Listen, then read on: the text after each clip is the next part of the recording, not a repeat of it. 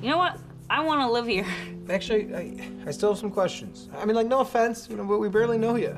Yeah, okay, yeah. So, um, full disclosure, I'm uh, kind of emotional right now because of the breakup, so I'll probably be watching Dirty Dancing at least six or seven times a day. Um, I'm a teacher, so I, I bring home a lot of popsicle sticks, stuff like that.